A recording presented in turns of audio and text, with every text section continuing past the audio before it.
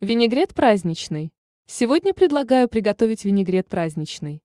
Такой салат отлично подойдет как для обычного семейного обеда или ужина, так и разукрасит ваш праздничный стол.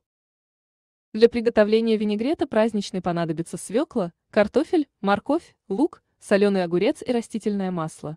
Вот из такого простого набора ингредиентов можно приготовить вкусный, сытный и полезный салат, который понравится всем.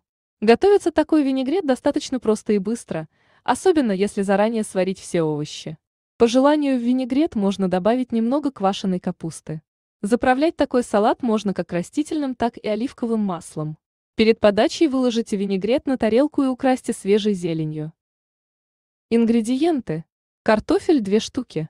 Морковь 1 штука. Лук красный 1 штука. Свекла 1 штука. Соленый огурец 3 штуки. Растительное масло 2 ст. Ложки Зелень – один пучок. Соль – 1 чайная ложка. Количество порций – 3.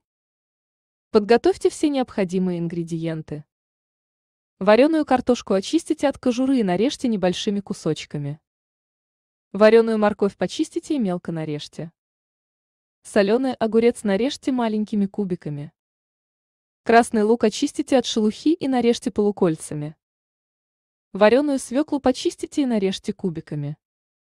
Заправьте салат растительным маслом, посолите и хорошо перемешайте. Винегрет праздничный готов. Приятного аппетита!